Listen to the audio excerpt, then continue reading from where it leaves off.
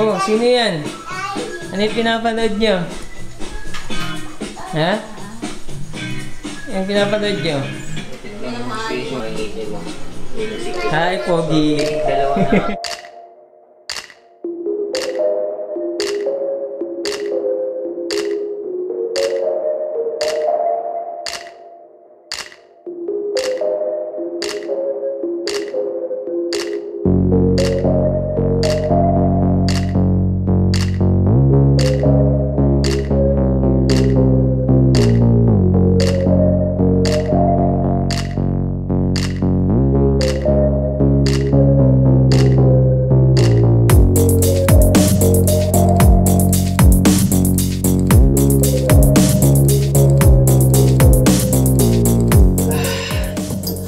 Christmas Day. Um, maaga yung gising natin today. Buti naman kasi gusto ko mas mahaba yung time natin with the kids. So kahit hindi masyado makapag-celebrate, at least man lang mahaba yung time magkasama.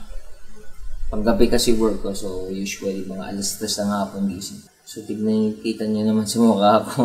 Lutang pa, antok na antok. Ah! Kape! Yes! Hindi na basta-basta mapapasukan ng ahas. You see that?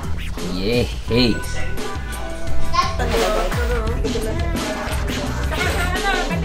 Say thank you, say thank you. Thank you.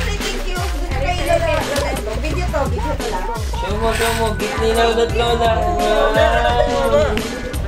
Pwede ko talaga yun.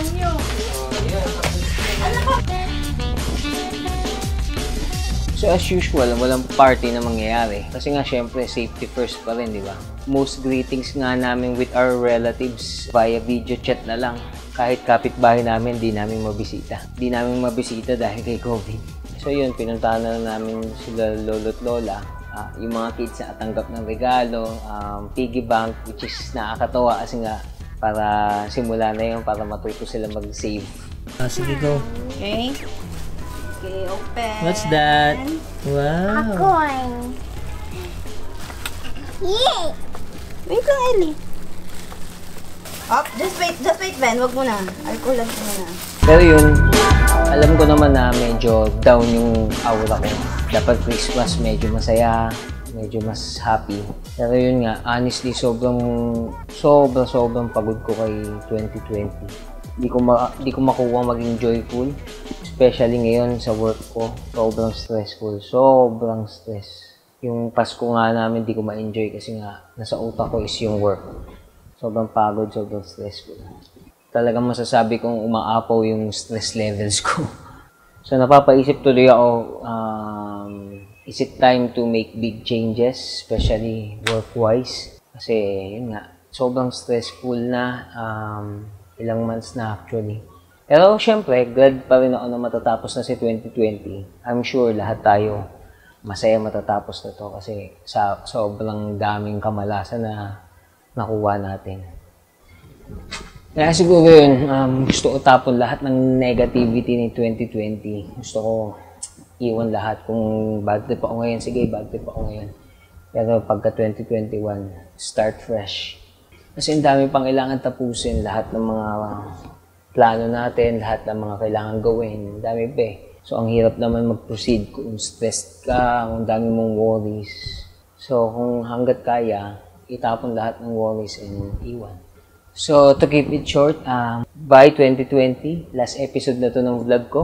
Amazing na umabot ako ng one year for vlogging. Kahit na hindi everyday, wala lang na-amaze ako kasi nga dati, hindi ko kaya talagang humarap sa camera. Naiilang ako.